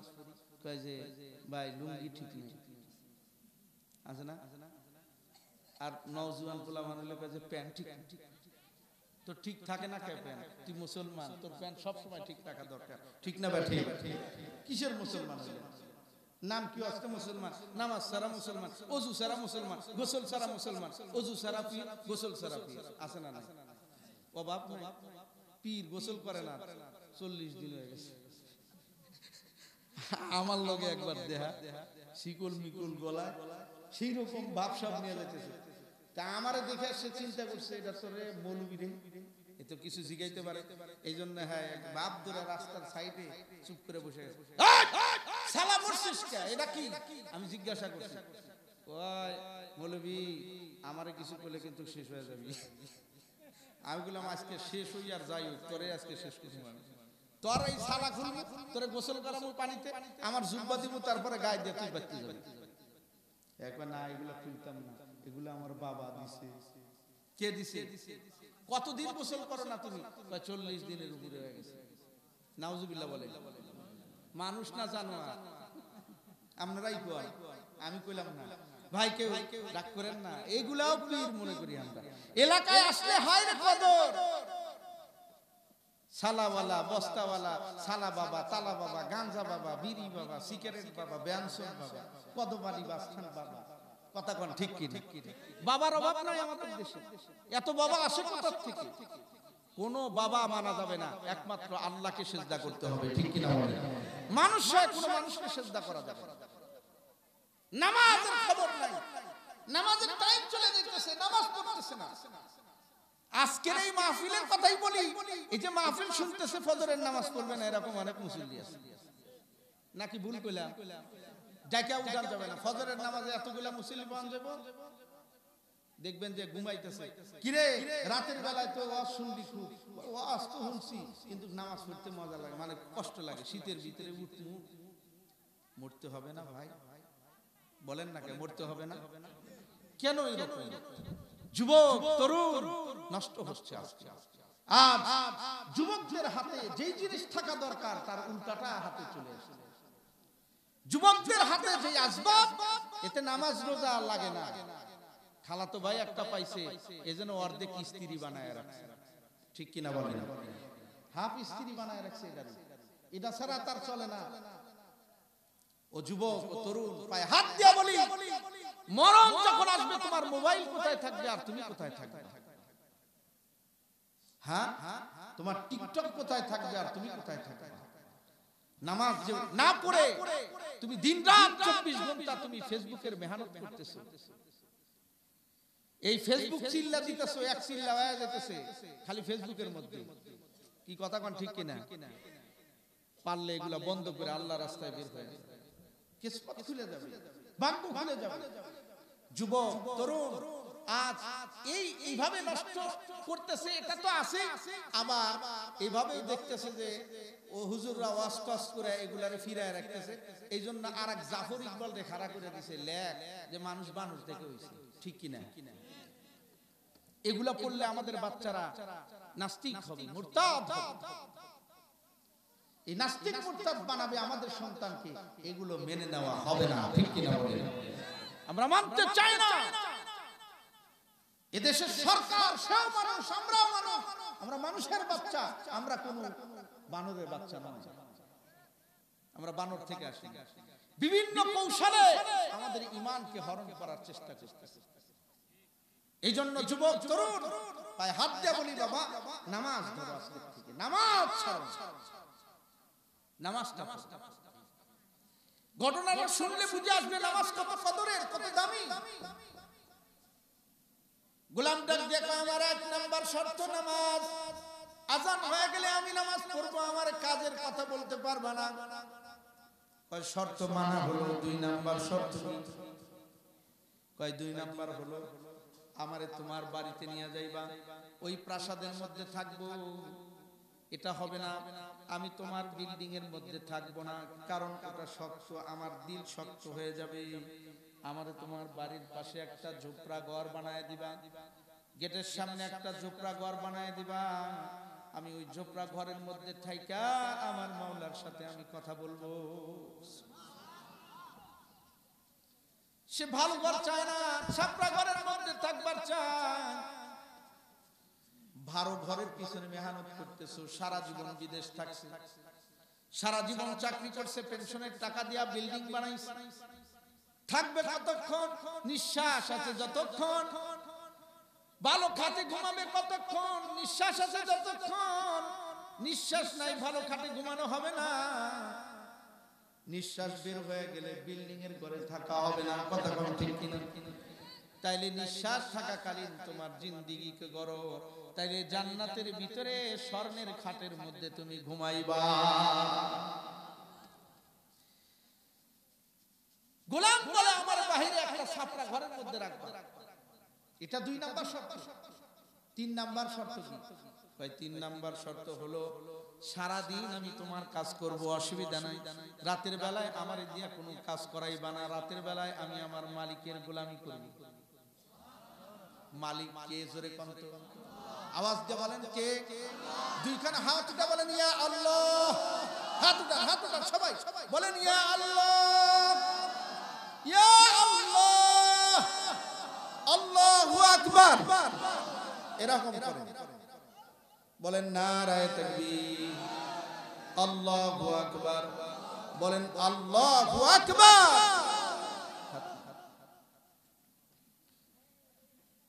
তাহলে তিন নাম্বার শর্ত হলো, রাতের বেলায় আমারে কিন্তু ডাকবেন না। রাতের বেলায় আমি একজনের গোলামি করব, তিনি কে?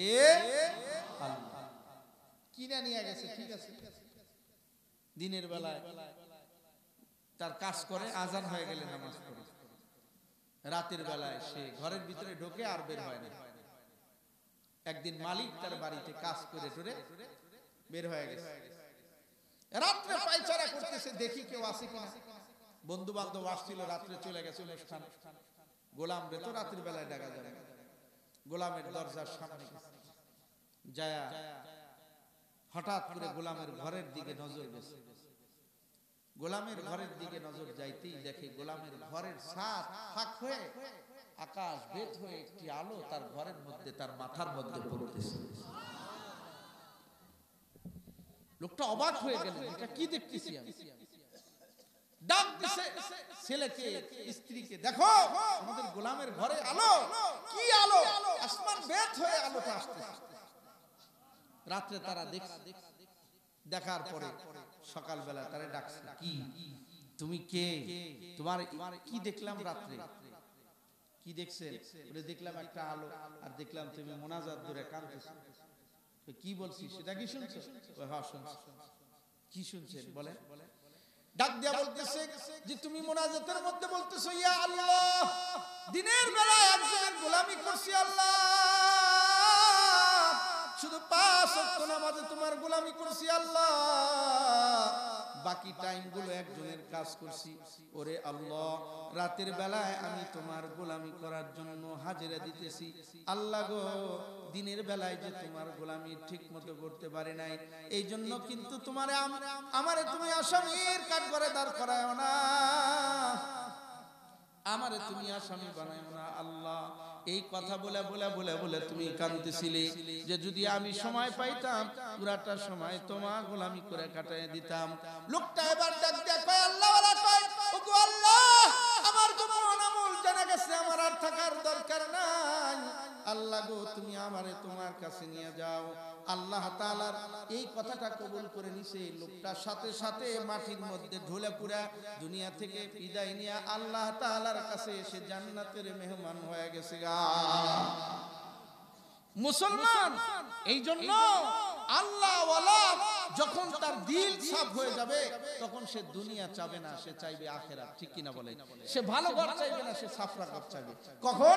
যখন আল্লাহ হবে। এই জন্য আল্লাহ রাব্বুল আলামিন বলছে, আমি যে আয়াত তেলাওয়াত করেছি, ইয়া আইয়ুহাল্লাযীনা আমানু তাকুল্লাহ ওয়া কুনু হে ঈমানদারেরা তোমরা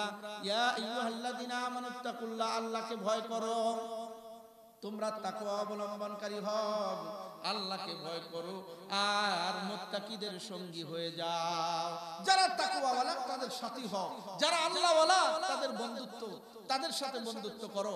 যার সাথে যার মহাব্বত হবে, তার সাথেই তার হাসর হবে। ঠিক কিনা বলেন? আর কথা ঠিক কিনা বলেন? এই জন্য হাসর হবে ইমানদারদের সাথে, আল্লাহওয়ালাদের সাথে, মোত্তাকিদের সাথে তাকওয়াওয়ালাদের সাথে। এটা চান কারা কারা? হাত উঠে করে দেখেন। আল্লাহ কবুল করুক, বলেন আমিন। আর জোরে বলেন আমিন। মসজিদে দীর্ঘ সময় কালেকশন করেছে। আমার আগের বক্তা মৌলানা শাহাদত হোসেন আনসারি উনি দেখলাম যে লম্বা সময় দীর্ঘ কথাও বলেছেন কালেকশনও করেছেন অনেক টাকা। আপনারা বেজান না খুশি? আচ্ছা বলেন, মসজিদের টাকা কি সেক্রেটারি সভাপতি বাড়তে নিয়ে যাইব? না, মসজিদেই থাকব। উনি যে এই যে কালেকশন করছে এতক্ষণ, আপনাদের জন্য? না, তার জন্য। আপনাদের মসজিদের জন্য। আপনারা এখানে নামাজ পড়বেন। ঠিক কিনা বলেন? এখন আমি কিছু কথা বলব। এই কথার মধ্যে যদি আপনারা মনে চায় দিবেন আমার মনে হয় যে আপনাদের মন চাইবে। আমার মন বলে যে আপনাদের মন চাইবে। অবশ্যই কালেকশন লম্বা হয়ে গেছে। এক লোক! এ শোনেন শোনেন, একটা দারুণ ঘটনা এক লোক জীবনে কোনোদিন নামাজ পড়ে না। কি পড়ে না? নামাজ। সে নামাজ পড়ে না। এলাকার ভিতরে আসছে তাবলিক জামাত। কি জামাত? তাবলিক জামাতের লোকজন আছে এলাকার মসজিদে এসে বলতেছে, এলাকার সাথীদেরকে বলতেছে, ভাই, এই এলাকায় নামাজ পড়ে না, এমন এমন লোক আছে।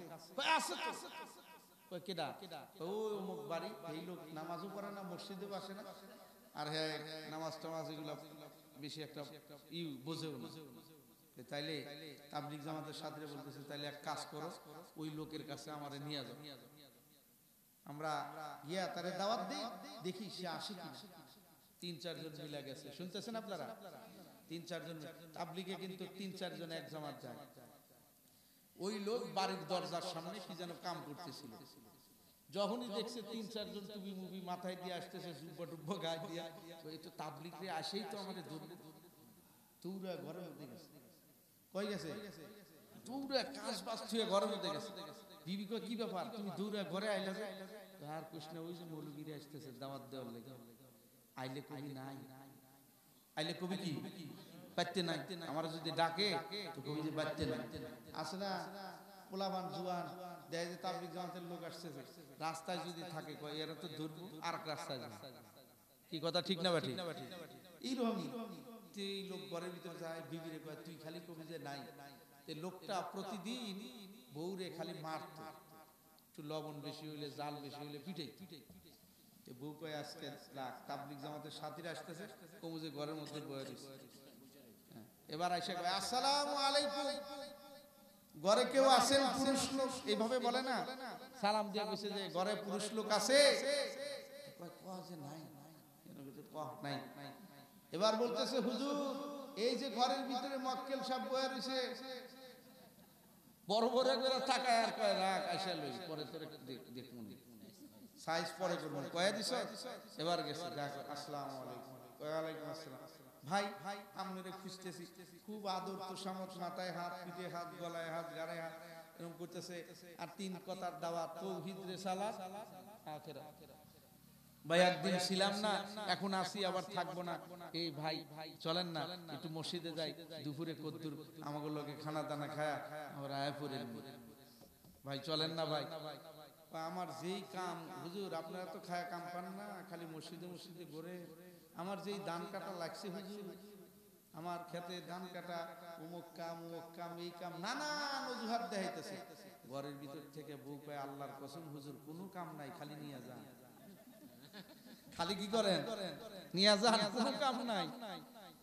হ্যাঁ তো আরও মেসাজ গরম, তুই কামটা করলি কি রে?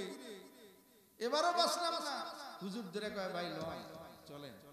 এবার কয়, ঠিক আছে বেশি সময় কিন্তু আমারে আমি অল্প সময় জোহরের নামাজ সময় খানা দানা খায় কিন্তু আমি চলে আসব, ঠিক আছে? আচ্ছা ভাই, ঠিক আছে, চলো। কেসে তাবলিক জামাতের খানা হাই রে স্বাদ খাইছেন নি আপনারা? অনেক মজা, খুব স্বাদ। আমি তো আল্লাহ রহমতে তিন চিল্লা লাগাইছি। খুব মজা পাইছি, আলহামদুলিল্লাহ। আল্লাহ তালা যেন আবার তৌফিক দান করে বলেন আমি আমি এখন এই মুরব্বীদের সাথে চেষ্টা করি থাকা। এবার ইস্তেমার ময়দানে মুরব্বীদের সাথে ছিলাম। আমি নদীর এপারের ইমাম ছিলাম। আলহামদুলিল্লাহ বলে আপনাদের সন্তান আমি কিন্তু, আমাকে অনেকেই চেনেন, আমার বাড়ি এখানে। কিন্তু ছোটবেলা থেকে আমি ঢাকা থাকি। আমি ঢাকাতেই বড় হয়েছি। আল্লাহ রহমতে ওখানে বাড়িও করছি আমি ঢাকাতে এখন। ওখানেই থাকি। কিন্তু আমি কখনো আত্মহংকার করি না। আমি আপনাদের সন্তান।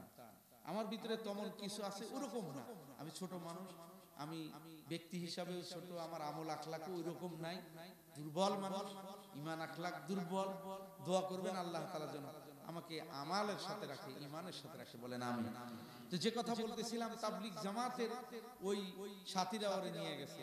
দুপুরে দশ খানা খুব সুন্দর করে একটু আমি একটু বসেন। আমি সব করে আর খাই ভাই, আপনার বাচ্চা কাচ্চা কয়জন? কি কি করেন? সব বলতেছে। আর খানা খাইতেছে, আর খানার ভিতরে তো আলাদা একটা মজা আছে, মজাও পাইতেছে।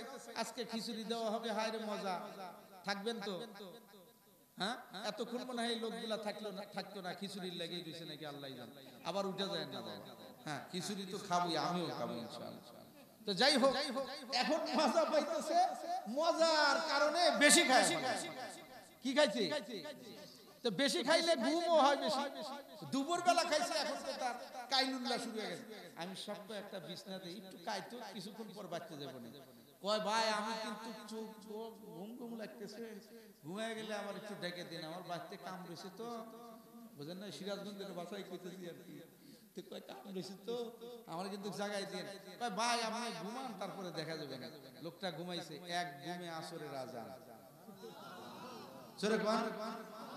কিসের আজান? ঘুম ভেঙে গেছে আজান না কিছুক্ষণ আগে দিলে এক নামাজ পড়লাম, এটা আবার কি? এখন সময় হয়ে গেছে, আসরের আজান দিছে অজু করে নামাজ পড়ি লয়। অজু করে নামাজ পড়তেছে তাবলিক জামাতের সাথীরা কয় যে নামাজ পড়তে পড়তেই নামাজ যখন শেষ হয়ে যাবে, এলান দিতেছে একজন দ্বারা ইনশাল্লাহ ভাই, বাকি নামাজের পরে মহল্লায় হ্যাঁ দাওয়াতের আমল হবে, মসজিদে ইমানে কিনের কথা হবে, সবাই বসে বহুত ফায়দা হবে কি বলেন, এলান দেয় না?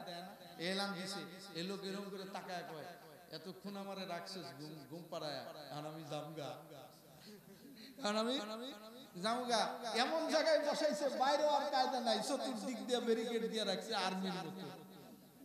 এখন বাইরে হইতে পারে না। কি বয়ান শুনতেছে, মজাও লাগতেছে। এমন এমন কথা বলতেছে, খুব মজা লাগতেছে। ইমানে কিনের কথা শুনে সে বসে গেছে, শুনতেছে, তাকায় রইছে তাকায় রইছে বয়ান হইতেছে, তাকায় রইছে হঠাৎ করে তাকাইতে তাকাইতে সময় শেষ, মাগরিবের আজান শুরু হয়ে গেছে। মাগরিবের আজান দিয়ে দিছে। মাগরিবের যখন আজান দিছে কয় সর্বনাশ গরু বানবে নাকি রা হ্যাঁ? এই কামগুলা করল হুজুর আজকে আমারে কেমনে কেমনে আটকা মাগরিব পর্যন্ত রাখল? মাগরিবের সময় একজন এলান মারছে ইনশাআল্লাহ বাকি নামাজের পরে গুরুত্বপূর্ণ ইমান আমালের গুরুত্বপূর্ণ বয়ান হবে সবাই বসে বহুত ফায়দা হবে। লোকটা কয় যে এই সময় কইলো যে ইমানে কিনের কথা। এখন কয় ইমান আর আমালের কথা। তাইলে আবার এরা বসে বসে শুনতেছে। শুনতে শুনতে কলিজার ভেদ করে, কলিজার ভিতরে আঘাত লাগছে। আঘাত লাগতে লাগতে চোখ দিয়া পানি আসছে। দিল সাফ হইছে, লোকের জবান ভালো হইছে। দিল সাফ হইছে, চোখ ভালো হইছে। দিল সাফ হইছে, কান ভালো হইছে। দিল সাফ হইছে, আকল সাফ হইছে। আকল সাফ হওয়ার পরে এবার বলতেছে, আমি চিল্লায় নাম লেখাইলাম, চিল্লায় জামু চিল্লায় যাব। কোথায় যাব? আমি সামনে ডাক দেখে আমি সব আমার নামটা লেখান। আমি চিল্লায় যাব আমি জীবন ভুল করছি নামাজ পড়ি নাই। আজকে আমি চিল্লায় যাব আর কোনোদিন অন্যায় করব না নামাজ পড়ব এখন থেকে। চিল্লায় নাম লেখাইছে বাড়িতেই যাবে না। কোটলা বাইন্দা আমি সব নিয়ে গেছে চিল্লায়। এক চিল্লা দিয়া আরও মজা দুই চিল্লা দিছে। আরও মজা, তিন চিল্লা দিছে। ইমানদার হয়ে গেছে। তিন চিল্লা দিয়া বাড়তে পারছে কয় চিল্লা? এবার চিল্লার ভিতরে কিন্তু ব্যবধান সিস্টেম আছে বাবা। কয়, কি সিস্টেম কয়, আমি সব একজন এই তিনজন একদিন পাক দেয়, আরও তিনজন আর একদিন পাক দেয়, আরও তিনজন আর একদিন পাক দেয়। একদিন ওরে জিম্মাদারি দিছে, যেটা বউ পিটায় তরকারি লবণ বেশি হইলে বউ পিটায়, জাল বেশি হইলে বউ পিটায়। ওরে কয়, তুই আজকে পাকাবি? ওই লোকের পাকানি পড়ছে, পাকাইতে গেছে, মনে থাকে না ভুলা যায়, একটু পরে পরে লবণ দেয়। আর একটু করে দিছি কিনা মনেই নাই, আবার একটু করে মরিচ দিছে, এমন জাল হইছে, আর এমন কটা হইছে তিতা বলে আমাদের সিরাজগঞ্জে? তিতা হয়ে গেছে, এখন আর তরকারি খাওয়ার উপযুক্ত না। আমি সব বুঝতে পারছি যে তরকারি আজকে কি হয়েছে এই জন্য মোজাকারার মধ্যে কয়, ভাই, খানার আয়ুব না দূর। খানার দোষ না দূর কি না দূর যা খাব আলহামদুলিল্লাহ খাব বলেন যা খাব বলেন না। বলেন আলহামদুলিল্লাহ। রাগ করতেছে। যা খাব আলহামদুলিল্লাহ এখন সাথীরা খাইতেছে খায় আর জিব্বা লাল হয়ে যেতেছে এবার তিতাও লাগতেছে জিব্বার অবস্থা খারাপ শুদ্ধে মানে এসতেছে আর ওই বেটা মনে করতেছে আজকে মনে হয় খানাটা ভালো পাকিছে এত মজা করে খাইতেছে খায় আর খালি জিব্বা ঠোঁট লাল হয়ে যেতে আলহামদুলিল্লাহ। কথা বুঝতেছেন? খালি আলহামদুলিল্লাহ। এবার খেদমতের সাথীরা সবার শেষে খাইতে যায়, ঠিক কিনা বলেন? ও লোকটা সবার শেষে খাইতে গেছে। খানা খাইতে গিয়া দেখে, হায় রে খানার ভিতরে কি মজা মজা মানে কি? সাজা। তার মানে জালও বেশি হয়েছে, লবণও বেশি এবার একটা চিৎকার মেরে এক তকবীর দিয়া জমিনের মধ্যে সেজদায় পড়ে গিয়া বলে আল্লাহ জিন্দিগিতে আর কোনদিন স্ত্রীর শরীরের মধ্যে আঘাত করব না। স্ত্রী, এই লবণ বেশি দেওয়ার কারণে তারে আঘাত করছি, ঝাল বেশি দেওয়ার কারণে আঘাত করছি। আজকে আমি একদিন রানতে গিয়া ভালো করে রান্না করতে পারে নাই।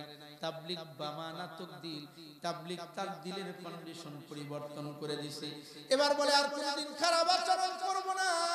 চিল্লা দিয়ে বাড়িতে আসছে। আশা এবার যা খায়, আলহামদুলিল্লাহ, কোনো মারামারি নাই, কাটাকাটি নাই। স্ত্রীর সাথে খারাপ আচরণ নাই। পাশের বাড়ির হিন্দু বেটি হ্যাঁ সে কয়, দিদি, কি হয়েছে আগে না দেখতাম খালি ফাড়াফাড়ি আর মাটামাটি। হাই রে চিল্লা পাল্লা মারামারি, আপনার ভাই মারতো, যেই মারা মারতো। এখন দেখি কোনো উহ, আহ নাই চিল্লা পাল্লা নাই, ঘটনা কি? ওই যে তোমার বাইরে একটু চিল্লায় পাঠাইছিলাম তো, ওখানে গিয়া শিখে আসছে, যা খাওয়াই খালি কয়, আলহামদুলিল্লাহ। আর আমারে মারে না। হিন্দু বেটি বাড়তে গিয়া তার জামাই দিয়ে কয়, তুমি একটা চিল্লা লাগাও। তুমি একটা চিল্লা লাগাও। ঘটনা আসছে এমন যে হিন্দু মুসলমান হয়ে গেছে। সুবহানাল্লাহ। দাওয়াত ও তাবলীগের সাথে বলেন, ইনশাআল্লাহ। পারলে সময় লাগাবো। তিন দিন করে সময় দিবেন। ইনশাআল্লাহ বলে পারলে বেশি সময় লাগাবো। আর এই মসজিদের আবার মেহনত মেহনত। এটা কখন হবে? যখন আমি দিনের সাথে থাকব। তখনই আমার মসজিদের মুসল্লি বাড়বে। তখনই আমার মসজিদের আসল কিন্তু বিল্ডিং না আসল কিন্তু বিল্ডিং না। আরে সোপরা ঘরের মধ্যেও সেজদা দিয়া সাহাবাই কেরাম আল্লাহকে খুশি করছে। ঠিক কিনা বলে না জাপরা ঘরের মধ্যেও সেজদা দিয়ে আল্লাহকে খুশি করছে। এখন বিল্ডিং এর সেজদা দিয়াও খুশি করাইতে পারতেছে না। কারণ ইমান দুর্বল এজন্য ইমানের উপরে মেহনত করতে হবে সাথীদের উপরে মেহনত করতে হবে। এই জন্য এখন যেহেতু জামানা চলে আসছে বিল্ডিং এর আমাদের এই মসজিদটাও সুন্দর হোক আশেপাশে মসজিদের মতো এখানেও আমল আখলাক সুন্দর হোক। এই জন্য ভাই এই মসজিদের জন্য অনেকেই টাকা লেখাইছেন কিছু লোক বাকি থাকে যে প্রধান বক্তা আসলে তার হাতে দেবো। আসলে আমি প্রধান বক্তা না এই জায়গায় সবচেয়ে নিম্ন না সবচেয়ে নিচের বক্তা আমি। তারপরেও আমি আপনাদের এলাকার সন্তান হয়ে বলতেছি الحمد لله رب العالمين. ربنا ظلمنا أنفسنا وإن لم تغفر لنا وترحمنا لنكونن من الخاسرين. ربنا آتنا في الدنيا حسنة وفي الآخرة حسنة وقنا عذاب النار. رب ارحمهما كما ربياني صغيرا. رب ارحمهما كما ربياني صغيرا ফেলিয়ে না দিও আল্লাহ ফেলিয়ে না দিও গুনা যত করছি মাওলা ক্ষমা তুমি করি বান্দা সে বন্দিগি নাই শেষ করেছি জিন্দিগি তুমি বিনা এ পাপীদের খবর মাঝে উপায় কি রহিম রহমান নামে গো মাওলা নিয়েছি তোমায় মানিয়া। কেমনে গো মাওলা আমাদের জাহান নামে ফেলিবা ইয়া আল্লাহ, তাকায় দেখো মালিক গভীর রজনীতে। তোমার প্রিয় প্রিয় বান্দাদের নিয়া আমি গুনাহগার পাপী। আল্লাহ রজব মাসের গুরুত্বপূর্ণ সময় আল্লাহ আলোচনা করে তোমার দরবারে দুখানা করে হাত তুলে দিলাম। রব্বুল আলামিন, জীবনে যত গুনাহ করেছি আল্লাহ আমাদের জিন্দিগির সব গুনাহগুলো মাফ করে দাও। রব্বুল আলামিন আল্লাহ, আমাদের জীবনে ঘটে যাওয়া আল্লাহ আমাদের হয়ে যাওয়া যত গুনাহ আছে আল্লাহ সকল গুনাহ তুমি মাফ করে দাও। আল্লাহ আদালতে কিবরিয়াতে আল্লাহ আসামি কাঠ গড়ায় দাঁড়াই আসামি কাঠ গড়ায় দাঁড় করায় দিলে আল্লাহ উপায় থাকবে না। হিসাব দিয়া জান্নাতে যাওয়া সম্ভব হবে না রে মালিক। আল্লাহ, তুমি আমাদেরকে বিনা হিসাবে জান্নাতের মেহমান বানায় দিও ইয়া আল্লাহ, দীর্ঘ সময় আলোচনা করেছি ভুল ত্রুটি মাফ করে দিও আলোচনার আমলীয় যে বিষয়গুলো আছে, আল্লাহ আমাকে সহ সকলকে আমল করার তৌফিক দিয়া দাও। রব্বুল আলামিন আল্লাহ নিজ এলাকার ভিতরে এসে আল্লাহ আলোচনা শুনায় হাত তুলে দিলাম। আল্লাহ এই দুই হাত দিয়ে নিজের বাবাকে কবরের মধ্যে দাফন করে রেখেছি আল্লাহ, বাবা হারায় তিন সন্তান। আল্লাহ দুনিয়া থেকে বাবাকে হারায় ফেলছি। কবরের মধ্যে কোন হালাতে আছে কাইফিয়াত জানি না। আল্লাহ দয়া করে মা করে আমার আব্বার কবরটাকে জান্নাতের টুকরা বানায় দাও। রব্বুল আলামিন, আল্লাহ হাত তুলেছি, আল্লাহ অনেকের বাবা নাই, অনেকের জন্ম দুঃখী মা নাই। আল্লাহ মা হারা বাবা হারায়, তিনি সন্তানগুলো হাত তুলেছি। তাকায় দেখো, দিলটা নরম করে চোখের পানি ছেড়ে দিয়ে আল্লাহ মার কথা মনে পড়ে, হাত তুলে দিছে আল্লাহ। যে মা ইয়া আল্লাহ গর্ভের মধ্যে দশটি মাস ধারণ করেছি। আল্লাহ পেটের ভিতরে মাথা দিয়া গুতা মেরেছি। আল্লাহ পা দিয়া লাথি মেরেছি, হাঁটু দিয়া গুতা মেরেছি। মা রাগ করে নাই, গলা চেপা ধরে নাই। মা আদর করে সন্তানকে ডান পাশে চুমা দিয়ে শোয়া রাখছে ডান পাশে প্রসাব পায়খানা করে বাসায় দিছি। মা রাগ করে নাই, শীতের ভিতরে মা ডান পাশ থেকে বাম পাশে, বাম পাশ থেকে ডান পাশ। আল্লাহ এমন হয়ে গেছে, দুই পাশে প্রসাব পায়খানা দিয়া ভরা। মা সন্তানকে বুকের মধ্যে আরামের ঘুম ঘুম পাড়ায় দেয়। সারা রাত মা শীতের ভিতরে কাঁপে ভেজা কাপড় চোপড় গায়ে দিয়ে দিছে। আল্লাহ মা জনম দুঃখী মা যাদের কবরে আছে, আল্লাহ সকলের মার কবরগুলো বেহেস্তের টুকরা বানায়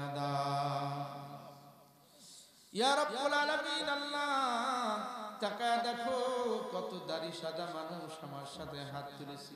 খানায় কাবায় যাওয়া মানুষগুলো হাত তুলেছি। আল্লাহ হার কিসিমের লোক আল্লাহ মাহফিলের মধ্যে ছোট বড় বেগুনা মাসুম বাচ্চারাও হাত তুলেছি। আল্লাহ গভীর রজনীতে তোমার কাছে চাই। আমাদের জিন্দিগির সব গুনাহ মাফ করে দাও। আল্লাহ হায়াতের এই জিন্দিগিতে, বাকি জিন্দিগিতে আল্লাহ তোমার নিয়ামত, আল্লাহ তোমার ইয়াল্লাহ ইবাদত বন্দিগি, তোমার হাবিবে কিবরিয়ার তরিকা, সুন্নাহ তরিকা মোতাবেক চলার তৌফিক দিয়া দাও। আজকের এই মাহফিলকে কবুল করে নাও। আয়োজকদেরকে কবুল করে নাও। মসজিদের ইমাম আল্লাহ শাহাদত হোসেন ভাইকে কবুল করে নাও। এমনি করে যারা দান করেছে, আল্লাহ সকলের দানকে কবুল আর মঞ্জুর করে নাও। রব্বুল আলামিন আল্লাহ মুসলিম জাতির হেফাজত করো আল্লাহ। কারারুদ্ধ উলামায়ে কেরামদেরকে আল্লাহ আপনি মুক্তির ব্যবস্থা করে দেন। ইয়া আল্লাহ নিরপরাধ উলামায়ে কেরামদের মুক্তির ফয়সালা করে দেন। রব্বুল আলামিন, আল্লাহ, আপনি আলেম ওলামা তলাবাদেরকে কুদরতি ভাবে হেফাজত করেন আল্লাহ? এদেশের মাসাজিদগুলো মাদারিসগুলো কবুল করে নেন। আল্লাহ সকল মাদারিসগুলোর হাজত আপনার গায়েবী খাজানা থেকে আপনি পুরা করে দেন আল্লাহ। আয়োজিত আজকের এই মাহফিল ও মসজিদকে কবুল করে নেন। আল্লাহ মসজিদের ভিতরে যত হাজত আপনি আপনার গায়েব থেকে পুরা করে দেন আল্লাহ। এলাকার ভিতরে একটা দিনই প্রতিষ্ঠান হচ্ছে, আল্লাহ দিনই প্রতিষ্ঠানকে উত্তরোত্তর আল্লাহ কামিয়াবি দান করেন, কবুল করে নেন। দাওরা হাদিস পর্যন্ত এলাকায়, মাদ্রাসায় হতে পারে তৌফিক দিয়া দেন। এলাকার মা বোনদের নামাজি বানায় দেন, তাকওয়াওয়ালা বানায় দেন, পরহেজগার বানায় দেন। আল্লাহ, ইয়া আল্লাহ জাকিরা শাকিরা কানিতা আবেদা সালেহা বানায় দেন। আল্লাহ আমাদের এই ভাইরা যারা হাত তুলেছে সকলকে আবেদ সালে জাকের, শাকের বানায় দেন আল্লাহ। হক্কানি পীর মাসায়কদের খানকা গুলো কবুল করে নেন আল্লাহ।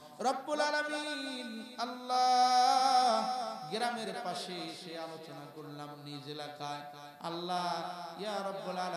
এলাকার আশেপাশে যত কবরস্থান আছে, সকল কবরস্থানের মুর্দাদের কবরের আজাব মাফ করে দেন। ইয়া করে, ও বাপ দে, জমা কো, জো দিল পর নসর করে। তাকাব্বাল সামিউল আলিম। وتب علينا. يا مولانا إنك أنت التواب الرحيم. سبحان ربك رب العزة عما يصفون وسلام على المرسلين. والحمد لله رب العالمين.